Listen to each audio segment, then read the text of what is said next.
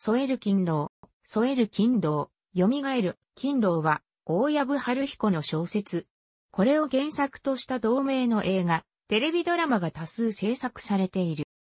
株式会社東和油脂に勤める29歳のサラリーマン、朝倉哲也は、上司や同僚からの信頼が厚い、真面目で実直な社員である。しかし、彼には、ある計画があった。夜ごとにボクシングジムに通い肉体を鍛える。彼は、トンネル会社などを利用して、私服を肥やし会社を食い物にする重役たちの姿を垣間見る。自分も、その一人になる野望を抱いた朝倉は、2年の準備期間をかけて、作戦を練り、計画を実行した。日本映画、主演、松田優作、監督、村川徹。富士カラービスタサイズ。131分。制作、角川春樹事務所、配給、東映、東方洋画系マーケット公開。地方では、近代地康介の冒険と日本立てで公。キャラクターストーリーの一部、結末を含むと1964年、東京オリンピック直前の時代設定を変更した。以外は、ほぼ原作通りに踏襲された。松田演じる朝倉は、会社勤めの際には、カツラと黒縁のメガネを着用して実直なサラリーマンを装っているが、原作、小説では風貌に関する、そのような描写はない。朝倉が共感した若手総会屋の桜井はコミカルな人物に設定され、千葉真一が扮する異色のキャスティングをした。桜井を狙う更新書の石井には、岸田森を当て、白いスーツにマントを着用し仕込み杖を操る男になっている。吹雪純、結城忍、吉岡瞳はヌードを披露している。原作では、ベトナム戦争前のアメリカ海軍横須賀基地の付帯施設でやれている麻薬組織との対決は、第2解放に変更された。朝倉の愛車は、白いマセラティメラク SS、BMW アルピナ B62.8、ランボルギーニカウンタックと変遷していく。2009年、平成21年には、松田の没後20年を記念して、ブルーレイ化され、2012年に改めて、角川ブルーレイコレクションの一作品として再発売。2014年11月には、松田優作没後25年に合わせ、新たに 4K スキャニングマスターを使用したリマスター版、ブルーレイディスクがリリースされた。夜明けの街中で発生した1億円、強奪殺人事件。犯人は夜間の大学を卒業し、資本金15億円を要する東和油市に補欠入社していた朝倉哲也。経理部に所属している朝倉は、表向き風采の上がらない社員を装っているが、夜はボクシングジムで鍛錬を重ねる裏の顔を持ち、密かに東和油市の乗っ取りを企てていた。東和油市の内部事情を入手するため朝倉は、経理部、小泉部長の愛人である、長井京子に接近し、麻薬とセックスで籠絡する。さらに奪った1億円を一旦安全なヘロインに変えるため、麻薬の元締めである、市会議員の磯川とも接触。磯川が仕掛けた資格たちも難なく始末し、1億円と引き換えにヘロインもまんまと手に入れた。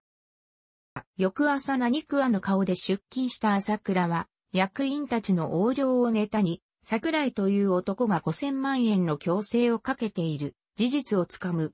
桜井の背後には、政財界のフィクサー、東和経済研究所の鈴本光明が控えてた。役員たちは探偵の石井とその一味を使って、証拠の強奪を図るが失敗。一方、京子から情報を得ていた朝倉は、東和油氏が桜井へ渡した内金の2500万円を強奪した。東和油氏に奪い返されたと激怒した桜井は、清水社長以下重役人と直接会い、ネガとテープを2億円に値上げすると主張。だが桜井が、鈴本の事業と直接関係ないことを調べ上げた。清水らは、石井に、桜井を始末するよう命じ、桜井と愛人のユキコを石炭不当で無残に殺害した。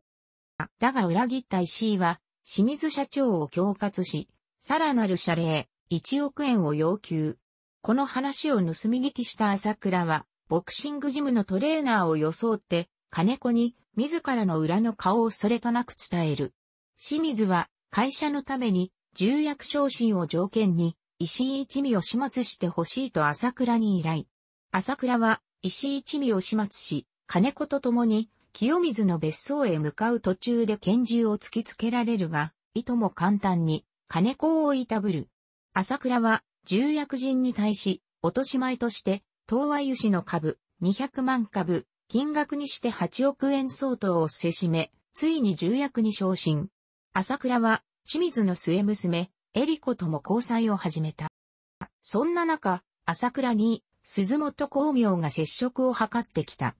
鈴本は殺された老い、桜井光彦の復讐のために、東和油脂を乗っ取るべく、朝倉の200万株を時価の3倍24億で買うと迫ってきた。朝倉はしぶしぶそのオファーを受けたが、折しも、京子も朝倉がエリコと婚約したことを知る。朝倉は、ヘロイン 1.5kg を小泉に1億3000万円で売りつける。狂気する小泉をはために絶望した京子は、京子との海外逃亡を計画していた朝倉の真意を知らぬまま毒薬を飲んだ後、朝倉の腹にナイフを突き刺し鍛えた。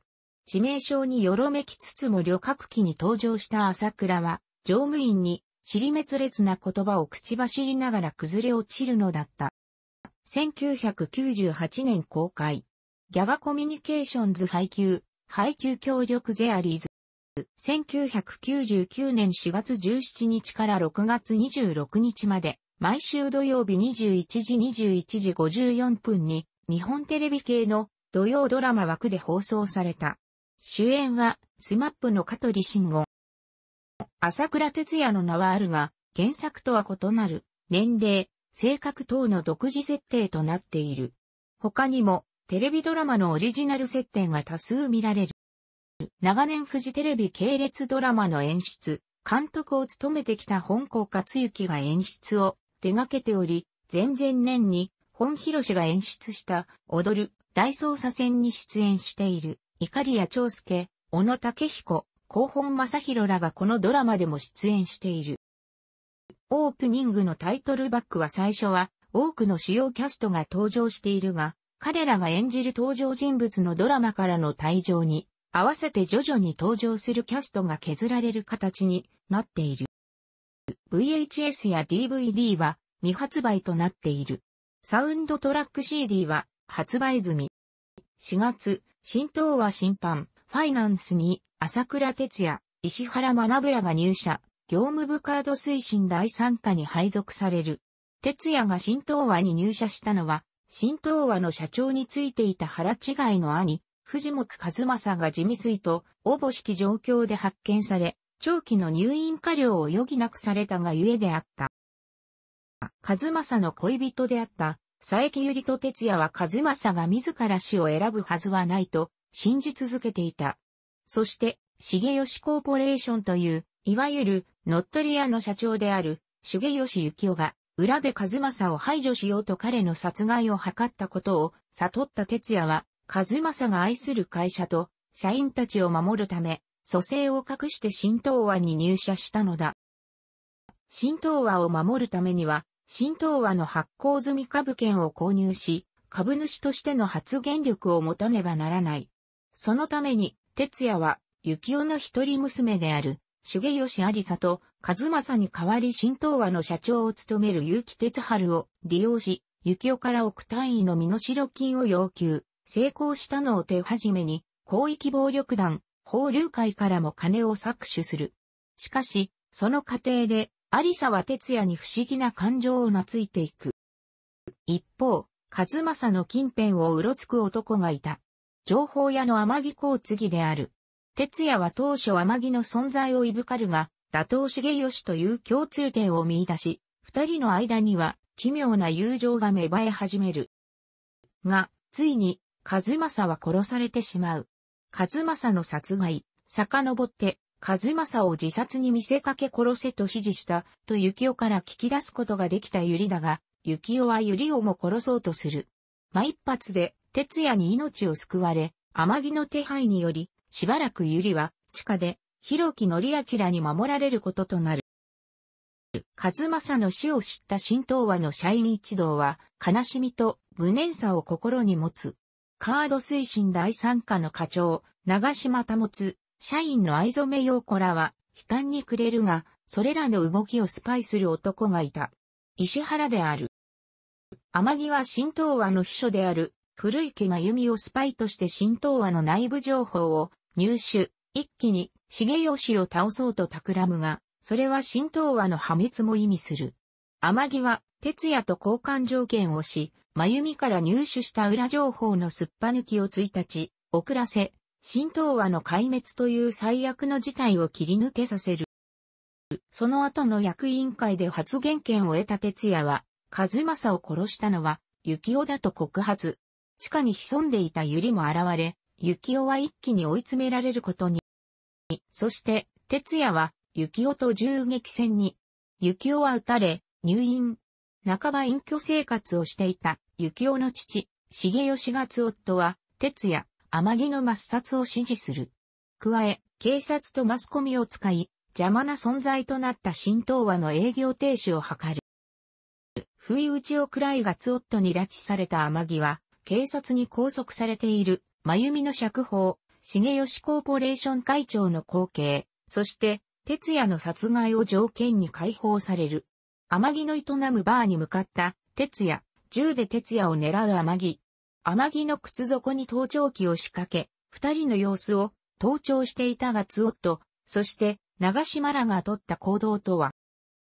演劇ブック社よりシナリオ集が出版されている。ただし、収録されているのは第1話から第6話までで、第7話以降は出版されていない。楽しくご覧になりましたら、購読と良いです。クリックしてください。